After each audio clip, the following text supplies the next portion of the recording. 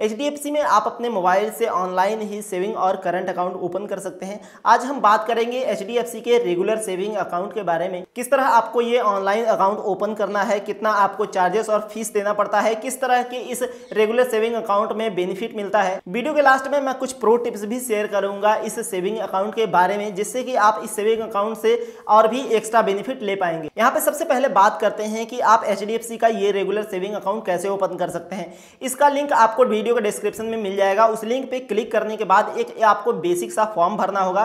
Form भरने के बाद आपको वीडियो के करने को आएगा। वीडियो के आप जब कंप्लीट करेंगे, सही सही कंप्लीट कर देंगे तो इसके बाद आपका अकाउंट ओपन हो जाएगा। ऑनलाइन ही, अपने मोबाइल से ही ऑनलाइन ओपन कर सकते हैं। ये जो एच का रेगुलर सेविंग अकाउंट है, ये मिनिमम बैलेंस वाला सेविंग अकाउंट है, जिसमें कि आपको मिनिमम बैलेंस हमेशा मेंटेन करके रखना होगा। अगर आप मेट्रो और अर्बन एरिया से बिलोंग करते हैं तो आपको यहाँ पे टेन का मिनिमम बैलेंस मेंटेन करके रखना होगा। और सेमी अर्बन से बिलोंग करते हैं तो आपको यहाँ पे 5000 का मिनिमम बैलेंस मेंटेन करके रखना होगा।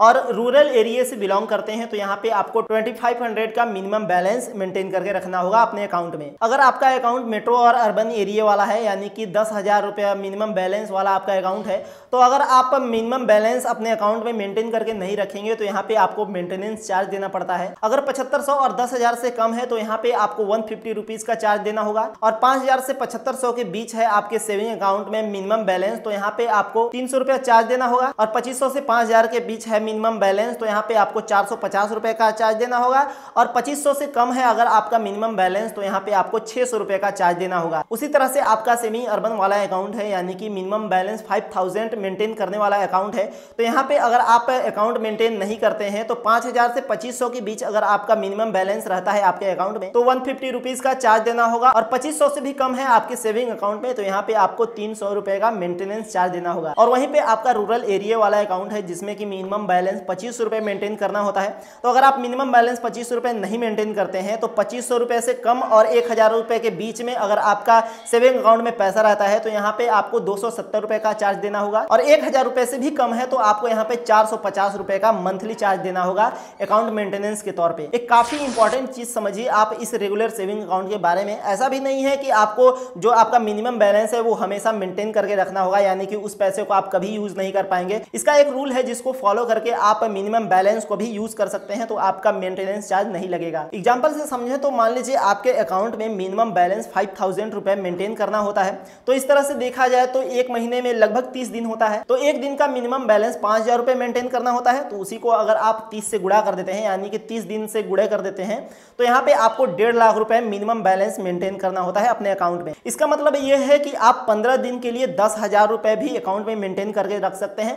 पंद्रह दिन के लिए दस हज़ार रख दीजिए, फिर पंद्रह दिन आपके अकाउंट में अगर ज़ीरो रुपए भी है तो भी आपको मेंटेनेंस चार्ज नहीं देना होगा। और आप चाहे तो ऐसा भी कर सकते हैं कि एक दिन के लिए डेढ़ लाख रुपए अपने सेविंग अकाउंट में रख देते हैं। इसके बाद वो पैसा यूज़ कर लेते हैं और आपके अकाउंट में कोई भी पैसा नहीं है, यानी कि ज़ीरो बैलेंस है तो भी आपको एक रुपए भी चार्ज नहीं देना होगा। लेकिन आपको एक दिन के लिए कम से कम डेढ़ लाख रुपए अकाउंट में रखना होगा। यही सेम रूल अप्लाई कर सकते हैं मिनिमम बैलेंस दस हज़ार वाले अकाउंट में और मिनिमम बैलेंस पच्चीस सौ रुपए वाले अकाउंट में। एच बैंक में जब आप रेगुलर सेविंग अकाउंट ओपन करते हैं तो आपको इस तरह का कुछ एक वेलकम किट आपके घर पे डिलीवर किया जाता है। इसमें इस तरह का एक पासबुक और साथ में ही एक चेक बुक और ये मिलेनिया का डेबिट कार्ड डिलीवर किया जाता है, फ्री में मतलब इसका कोई चार्ज नहीं दिया जाता है। यहाँ पे समझने वाली बात ये है कि आपको एक चेक बुक एक साल में फ्री दिया जाता है पच्चीस पन्नों का, लेकिन अगर आप एक साल के अंदर ही पच्चीस पन्नों का ये चेक बुक खत्म करके दूसरा ऑर्डर करते हैं तो यहाँ से आपको एक्स्ट्रा चार्ज देना होता है पचहत्तर रुपए का। और अगर आप सीनियर सिटीजन है और एडिशनल चेकबुक ऑर्डर करते हैं एक साल के अंदर ही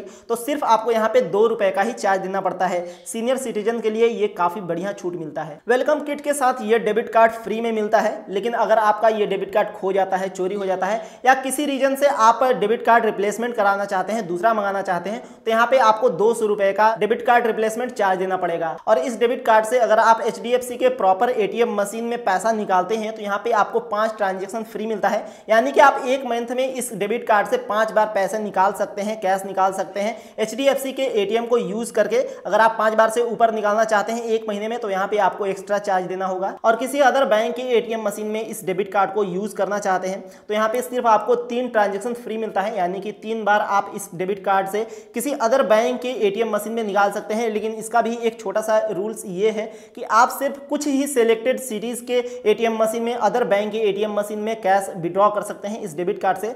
वो सिटी है न्यू दिल्ली बेंगलुरु हैदराबाद मुंबई और कोलकाता अब बात करते हैं इस रेगुलर सेविंग अकाउंट के कुछ बेनिफिट और फीचर के बारे में। इस एच के रेगुलर सेविंग अकाउंट में आपको नेट बैंकिंग, फ़ोन बैंकिंग और अकाउंट बैलेंस चेक करने का फ्री फीचर मिलता है, यानी कि फ्री में आप ये सब चीज़ें चेक कर सकते हैं। और आप इस एचडीएफसी के रेगुलर सेविंग अकाउंट से यूटिलिटी बिल पे करने के लिए ऑटो पे इनेबल कर सकते हैं। इसका मतलब है कि आपका जितना भी यूटिलिटी बिल है, जैसे मोबाइल का रिचार्ज हो गया, इलेक्ट्रिसिटी हो गया, डीटीएच का रिचार्ज हो गया और क्रेडिट कार्ड का बिल हो गया, इस तरह के जितने भी आपके बिल आते हैं, उसको पेमेंट करने के लिए आप ऑटो डेबिट इनेबल कर सकते हैं, जहाँ पे आपको याद रखने की ज़रूरत नहीं है कि कब आपका मोबाइल का रिचार्ज करना है कब आपका क्रेडिट कार्ड का बिल भरना है, ये सब चीज़ें ऑटोमेटिक ही पेमेंट हो जाएगा आपके सेविंग अकाउंट से, जिससे कि आप अपने किसी भी बिल का लेट फ़ीस देने से बच सकते हैं और अपना सिविल स्कोर भी बेहतर कर सकते हैं रेगुलर पेमेंट करके, यानी कि टाइम टू टाइम पेमेंट करके। अगला बेनिफिट है एनुअल मेंटेनेंस चार्ज बीबॉप यानी कि आप एच के इस रेगुलर सेविंग अकाउंट को ओपन करने के बाद एच बैंक में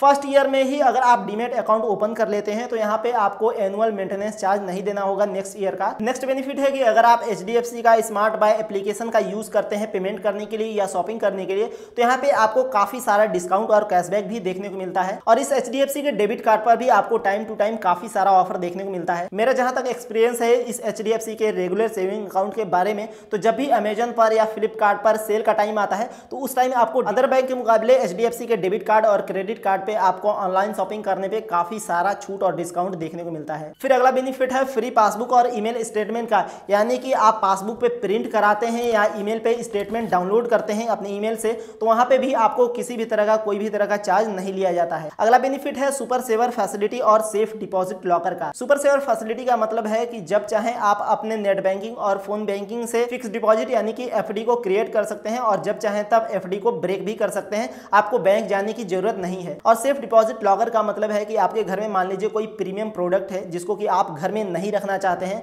चोरी होने का या कुछ होने का डर है तो आप एचडीएफसी का सेफ़ डिपॉजिट लॉकर यूज़ कर सकते हैं। इस एचडीएफसी के रेगुलर सेविंग अकाउंट में आपको थ्री से थ्री का इंटरेस्ट मिलता है। अगर आप मिनिमम पचास लाख या पचास लाख से कम अपने सेविंग अकाउंट में पैसा रखे हैं तो यहाँ पे आपको तीन परसेंट का इंटरेस्ट मिलेगा।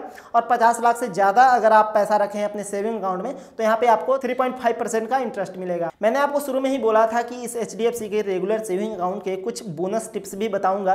वो बोनस टिप्स ये है कि अगर आप एच का ये रेगुलर सेविंग अकाउंट ओपन कराते हैं, ओपन कराने के बाद आप मंथली ठीक ठाक ट्रांजेक्शन करते हैं मिनिमम बैलेंस सही से मेंटेन करके रखते हैं अपने अकाउंट में और अकाउंट में कुछ पैसे एक्स्ट्रा भी रखते हैं तो यहाँ पे आपको क्रेडिट कार्ड की भी एलिजिबिलिटी मिल जाती है, अगर आपका सिविल स्कोर खराब है फिर भी। ये मेरा फ़र्स्ट क्रेडिट कार्ड है H money back plus credit card है, जो कि HDFC का रेगुलर सेविंग अकाउंट ओपन कराने के बाद मिला था। मेरा उस टाइम सिविल स्कोर काफ़ी खराब था, लेकिन फिर भी मुझे ये एच का money back plus credit card मिल गया, जिसका की लिमिट चालीस है। इस एच के रेगुलर सेविंग अकाउंट के वेलकम किट में ये पासबुक चेकबुक और डेबिट कार्ड के अलावा भी काफ़ी तरह के यहाँ पे पर्ची मिलते हैं जो कि काफ़ी इंपॉर्टेंट है। अगर आपको वेलकम किट के अनबॉक्सिंग का प्रॉपर डिटेल वीडियो देखना है तो लिंक आपको डिस्क्रिप्शन में मिल जाएगा। और कैसे आपको ये रेगुलर सेविंग अकाउंट ओपन करना है और कैसे वीडियो केवाईसी करना है, इसका भी लिंक आपको वीडियो के डिस्क्रिप्शन में मिल जाएगा। उम्मीद करते हैं ये वीडियो इन्फॉर्मेटिव लगी होगी। चाहे तो आप लाइक कर सकते हैं, चैनल को भी सब्सक्राइब कर सकते हैं। कर क्या सकते हैं, कर ही लीजिएगा। मिलते हैं अगली वीडियो में। बहुत बहुत धन्यवाद।